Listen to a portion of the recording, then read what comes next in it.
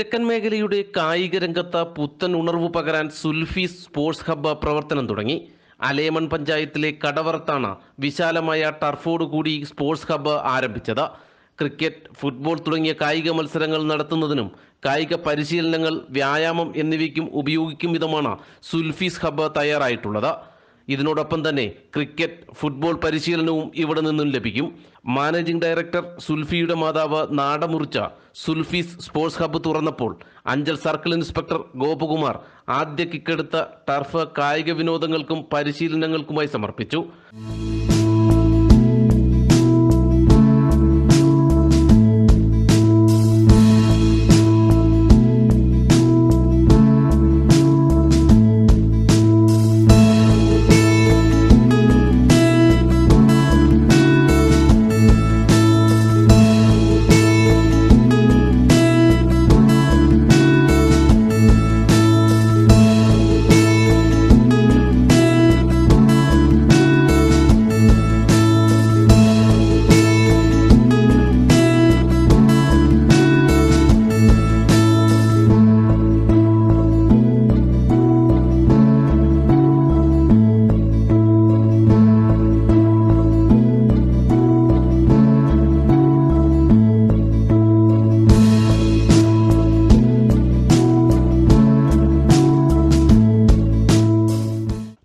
നടന്ന പൊതുസമ്മേളനം അലയമൺ ഗ്രാമപഞ്ചായത്ത് സ്ഥിരം സമിതി അധ്യക്ഷൻ ജി പ്രമോദിന്റെ അധ്യക്ഷതയിൽ പ്രസിഡന്റ് അസീന മനാഫ് ഉദ്ഘാടനം ചെയ്തു.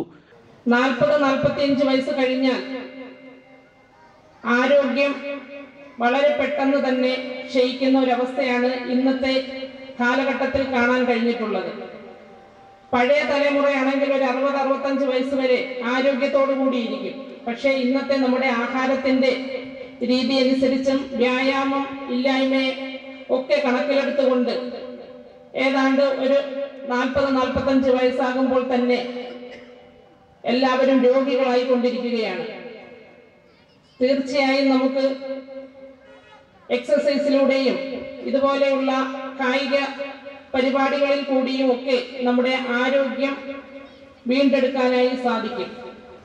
അതിനുവേണ്ടി എല്ലാ പ്രദേശത്തും ഇതുപോലെയുള്ള ചെറിയ രീതിയിലാണെങ്കിൽ പോലും കളിക്കളം സ്ഥാപിക്കുന്നതിന് മുതിരണം എന്നാണ് ഈ അവസരത്തിൽ എനിക്ക് സൂചിപ്പിക്കുവാനുള്ളത്.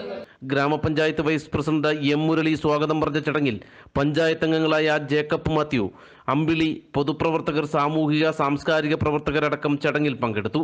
സുൽഫി സ്പോർട്സ് ഹബ്ബ് ഉടമ സുൽഫി ചടങ്ങിന് നന്ദി പ്രകാശിപ്പിച്ചു. Business desk നാട്ടുവാർത്ത.